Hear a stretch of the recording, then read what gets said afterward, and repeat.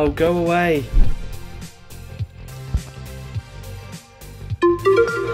I love thee not, therefore pursue me not. Where is Lysander and fair Hermia? The one I'll slay, the other slayeth me.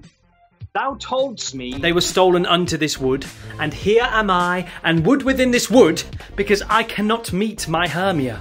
Hence, get thee gone, and follow me. no more. You draw me, you hard-hearted adamant, but yet you draw not iron, for my heart is true as steel.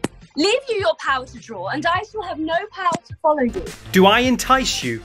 Do I speak you fair? Or rather, do I not, in plainest truth, tell you I do not, nor cannot love you? And even for that do I love you the more. I am your spaniel, and Demetrius, the more you beat me, I will fawn on you.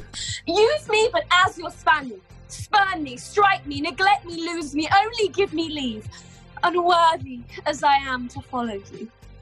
What worse a place can I beg in your love? And yet a place of high respect with me. To be used as you use your dog. Tempt not too much the hatred of my spirit, for I am sick when I do look on thee. and I am sick when I look not on you.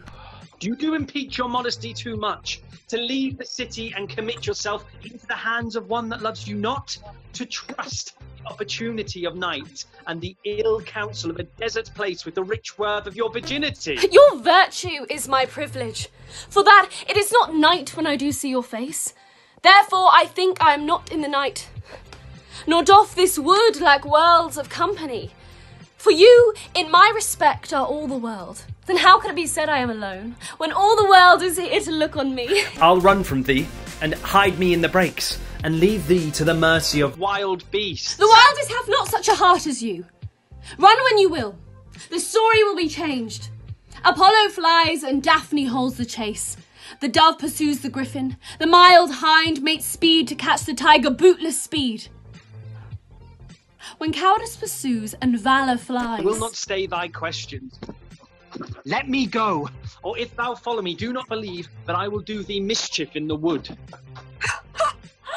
I, in the temple, in the field, in the town, you do me mischief. Thy Demetrius, your wrongs do set a scandal on my sex. We cannot fight for love as men may do. We should be wooed, and we're not made to woo. No, uh, Demetrius, wait!